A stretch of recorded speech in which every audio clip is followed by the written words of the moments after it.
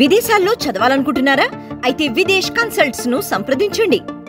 సంక్రాంతి కానుక కొత్త పెన్షన్ల కార్యాచరణ.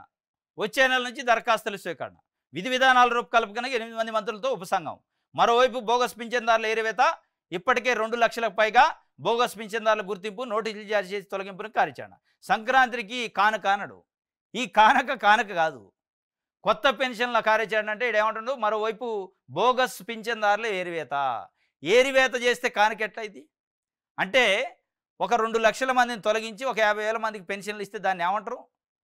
కానుకంటారా ఉన్నోళ్ళలో రెండు లక్షల మందిని తొలగించి ఒక యాభై వేల మంది కొత్త పెన్షన్లు ఇస్తే దానికి కానుకనరు దాన్ని ఏ రకంగా కానుకంటారు ఇది ఆంధ్రప్రభ సంక్రాంతి కానుక కొత్త పెన్షన్ల కార్యాచరణ మంత్రివర్గ ఉపసంఘం వేశారు దేనికి వేశారు కొత్త పెన్షన్లు ఒక్కటే వేయటానికి కాదు ఉన్న పెన్షన్లు ఓడగొట్టడానికి కూడా వేశారు ఉన్న పెన్షన్లు ఓడగొట్టి ఓడగొట్టే ఎక్కువ ఉండాలి ఇచ్చేయి తక్కువ ఉండాలని ఒక క్రైటీరియా పెట్టుకొని ఇవాళ పెన్షన్దారుల సంఖ్య పెన్షన్ లబ్ధిదారుల సంఖ్య తగ్గించే కార్యక్రమం చేస్తారు. దీన్ని సంక్రాంతి కానుక అని ముద్దు పేరు పెట్టారు.